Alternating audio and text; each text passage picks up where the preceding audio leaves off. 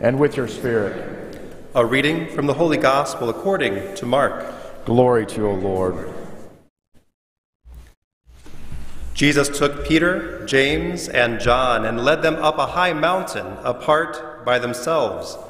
And he was transfigured before them, and his clothes became dazzling white, such as no fuller on earth could bleach them. Then Elijah appeared to them along with Moses, and they were conversing with Jesus. Then Peter said to Jesus in reply, Rabbi, it is good that we are here. Let us make three tents one for you, one for Moses, and one for Elijah. He hardly knew what to say. They were so terrified. Then a cloud came, casting a shadow over them. From the cloud came a voice This is my beloved Son. Listen to him. Suddenly, looking around, they no longer saw anyone but Jesus alone with them. As they were coming down from the mountain, he charged them not to relate what they had seen to anyone, except when the Son of Man has risen, had risen from the dead. So they kept the matter to themselves, questioning what rising from the dead meant. The Gospel of the Lord. Praise to you, O Lord Jesus Christ.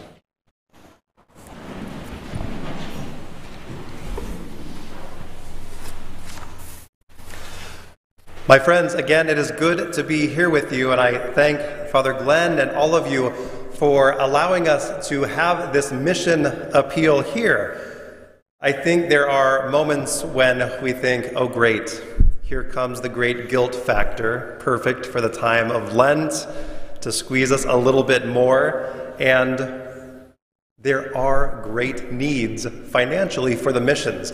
But the mission appeals are also a way for us as a church, a universal church, a global church, to help all of our faithful understand how the other faithful live in community. My name is Father Tom Eckert. I'm a Holy Cross priest ordained in 2003, and I spent the last nine years of my ministry at a, a highly Hispanic parish in, uh, in Goodyear, Arizona. I began my time as director of the Holy Cross Mission Center just in July, and so I am learning a lot. So, what I share with you, some of the bare bones of what I know, but I did also have the wonderful experience as a seminarian of spending two years in our Holy Cross sites in Lima, Peru, and in Santiago, Chile as well. So, those things in particular, I, I have been there and I do know what I'm talking about. But we are here in this time of Lent, here in this time when we are invited to enter into a deeper penance and a recognition of those times when we have sinned and failed in living the gospel. Those sacrifices we are asked to make in the Lenten practices of prayer and fasting and almsgiving, these are small sacrifices that are meant to help us form habits of sacrifice in our life. These sacrifices, small and great, we then learn how to unite those with the great sacrifice Christ made for us. Again, this Lent, this time of Lent, is very important. And we hear in our first reading the great sacrifice that Abraham was asked to make the sacrifice of his only son, his beloved son.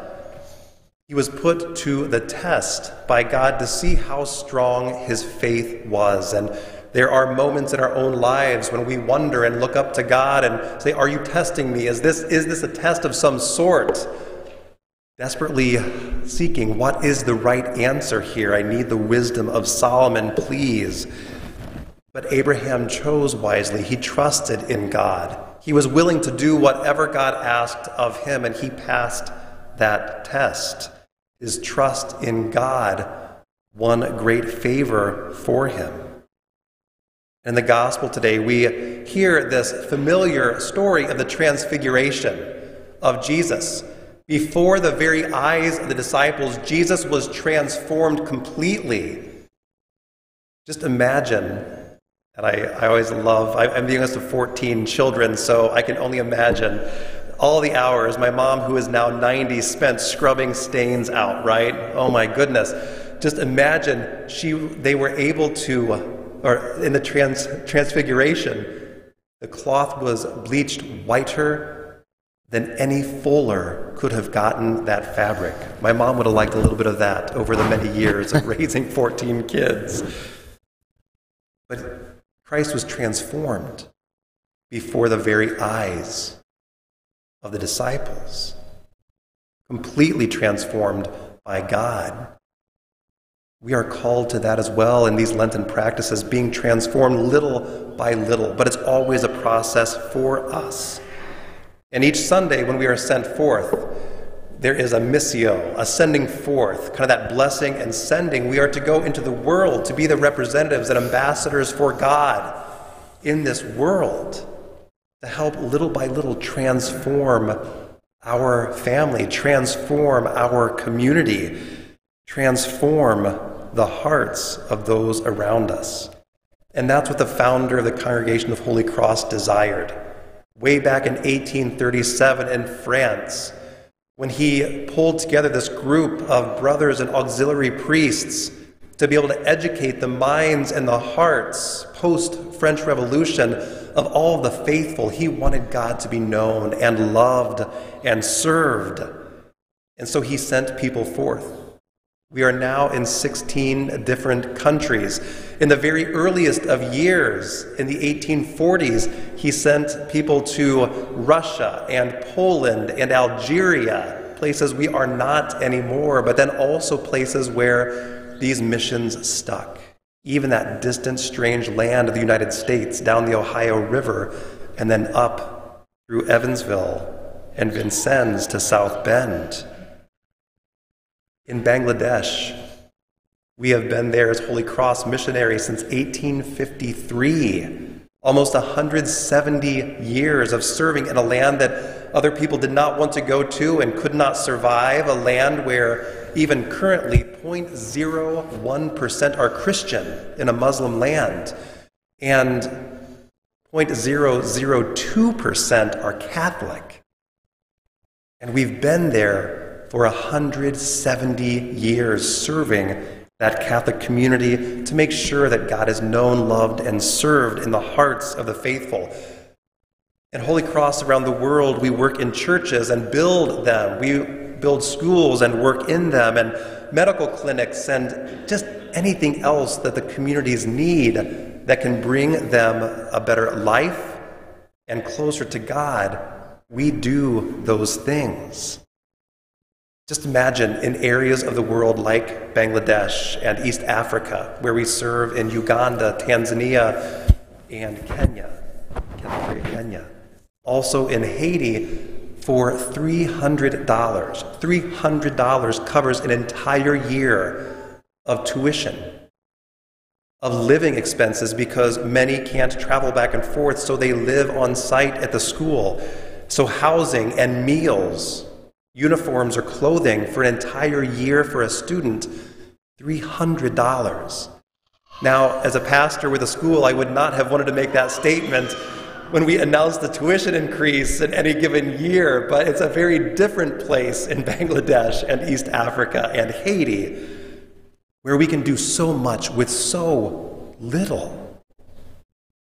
I think, as I was saying before, that the true meaning of this mission appeal isn't about that guilt that should exact us to, to give a little bit more in this moment, although giving is very important for our work. But it's to aid all of the faithful in thinking about our Catholic Church globally. What are we like? We understand what things are like. Me from my hometown in Huntington, Indiana. or all of you here in South Bend, and I understand a bit more in Arizona since I served there as a pastor, but, but globally, and thinking about our church inclusively and thinking about the love of God that enters the hearts of all the faithful around the world. So today's appeal is meant to remind each of us of our brothers and sisters around the world, many who suffer great poverty, and to invite you to consider supporting the work that's being done to impact their lives, to bring the Word of God to them, to transform their situations as well. Again, that transformation, that transfiguration that was witnessed by the disciples, completely transformed. So I'm just thinking of our missions when, when a school is built. Does that solve all of the problems of the community right away? Absolutely not. It's a process. But educating the minds and hearts of those children starts that process. Bringing faith to them starts that process. Christ was transfigured in one fell swoop immediately, but our transformation and society's transformation takes more time, takes great love, takes those small habits, and takes gifts as well. Those communities that are impacted are transformed little by little in our work in Holy Cross. So your contributions will go a long way in the work of the Congregation of Holy Cross. Again, as Father Glenn said, very much separate from the coffers of the university. Our work, the Holy Cross Mission Center, was started specifically in 1923, specifically for the work in Bangladesh. And we have grown and grown and grown our ministries throughout the world. So your contributions go a long way to help provide, for example, prenatal care and infant care at Brother Andre Medical Center in Tanzania. They help to educate orphaned girls, young women at the St. Marianne Cope Young Women's Education Project in Bangladesh and provide services for young children with disabilities in a highly impoverished area near Lima, Peru, where for the first time for many of them they're treated with that dignity and respect as a child of God. And these are just a few of the places where Holy Cross works to educate the minds and the hearts and to care for those who are most vulnerable. And we all know this past year, through COVID, has provided even more and greater need and situations that are far more dire than they once had been. And so we continue to see that need, and communities that depended upon tuition are not seeing that as classes are either online or more likely just delayed or postponed. And so there is that lack of local income, which is greater work and need for our mission center as well to help care for them in health care, providing food and meals, education and tuition a great example of the things that we can do in Peru, just outside of Lima, in the area where I lived for about half of a year and helped teach in the school that we have there. There was a clinic that was started, and they were doing blood tests for the public to see um, not only for COVID, but mainly for COVID. And they were doing these manual, in Spanish, toma de muestras, the blood test but the way that they were doing it, they were only 25% accurate.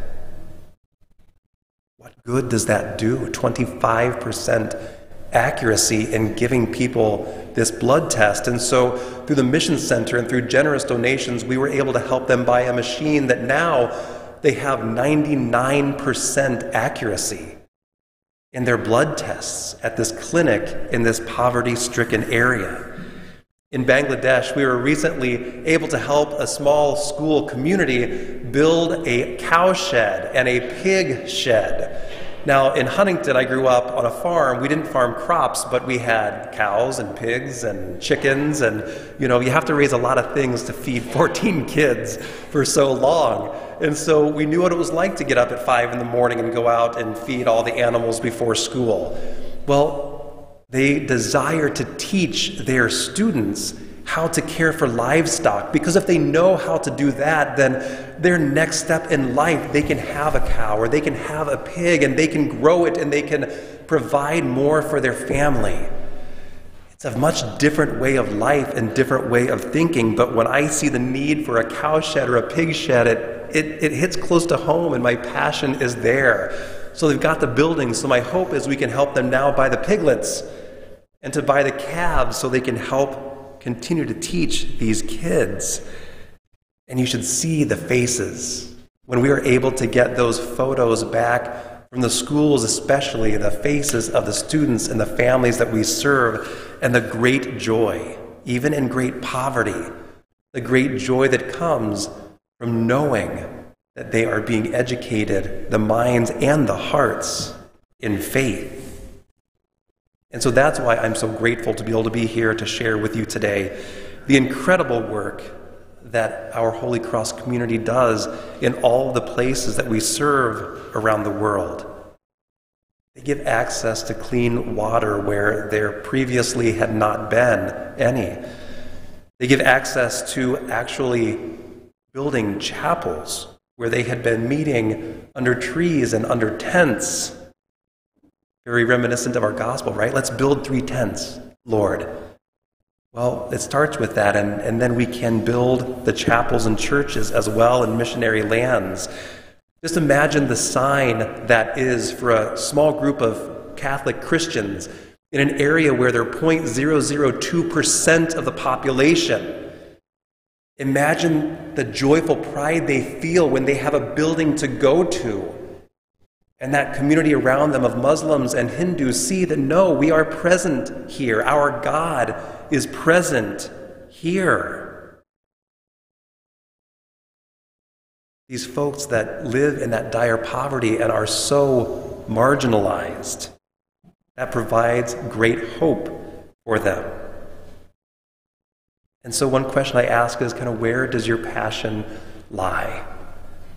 Knowing that we provide education and health care and all the types of different things of, that we build in Holy Cross, is there something that, that touches your heart? Are you in the medical field or an assistant that you're like, yes, I want to help with that? I can do a small part in that. Or a teacher or administrator, yes, I would like to help with that. Do a small part with that. It transform a community somewhere in the world. So, where is your passion? It, it might be for piglets, it might not be. It might be for something else. But if your passion is to understand the global church, the universal church, and to help those in need, I would ask that, that you help with that. Contribute to that. I simply ask that you help in our work, the congregation of Holy Cross, our brothers and priests and sisters to help us treat the greater community that we serve, those brothers and sisters of faith, with great love. By seeing Jesus in them and showing them his mercy, compassion, and concern that they may feel the great dignity of being loved as a child of God. So, my friends, thank you. Thank you for living out your faith here today, living out your faith in your families, living out your faith in your community, and understanding the greater global community, the universal church that is served by missionaries who give their lives to the peoples around the world. So thank you for this, and may God bless you abundantly in your generosity.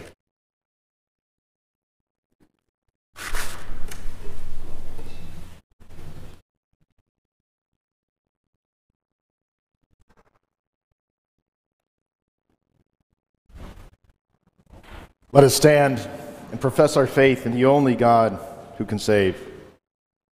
I believe one God, Father the Almighty, maker of heaven and earth, all that is seen and unseen. Believe in one Lord Jesus Christ, Christ. the only begotten Son of God, God- the Father before all ages, God, God from God, light from light, true God from true God, begotten, not made, consubstantial with the Father. Through him all things are made. For our sin and For our salvation, he came down from heaven. By the For Holy Spirit, Spirit, was was incarnate, the Virgin Mary became man.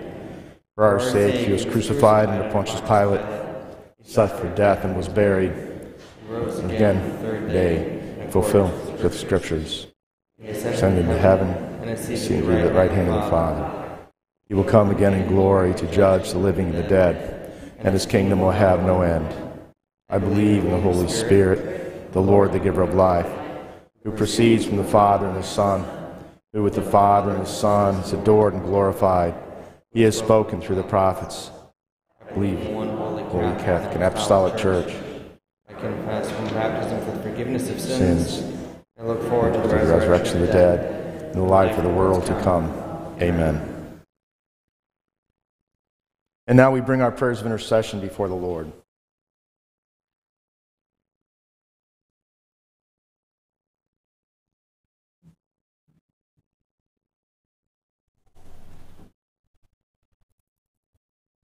For the Church, that she may inspire her children to enter this Lenten season with a spirit of prayer, penance, and generosity. We pray to the Lord. Lord, hear our prayer. For all nations throughout the world, that they work for lasting peace and mutual respect for human dignity and not be motivated by greed and self interest. We pray to the Lord. Lord, hear our prayer. That we may have the faith of Abraham and have Paul's confidence in God's providence. We pray to the Lord. Lord, hear our prayer. For the Kwasinski and Zylokowski families, the intention of this Mass, we pray to the Lord. Lord, hear our prayer. For all the intentions found in our parish book and all our personal intentions, and that our parish may prepare disciples to love the true, the good, and the beautiful. We pray to the Lord. Lord, hear our prayer. that all corruption be uncovered and those responsible for it lose their power and are replaced by leaders who respect life, the common good, religious liberty, and all that is in accord with natural law. We pray to the Lord. Lord, hear our prayer. For those candidates and catechumens who are called to be received into the church this coming Easter, that they may be inspired by our example this Lenten season. We pray to the Lord. Lord, hear our prayer. for all who have died, that they may come to know the fullness of God's joy in heaven, and that their family and friends be consoled by their hope in eternal life. We pray to the Lord. Lord, hear our prayer. Heavenly Father, hear the prayers of the people gathered here before you, those spoken and those kept in the silence of our hearts. Answer them insofar as they meet our deepest needs and are in accord with your holy and divine will.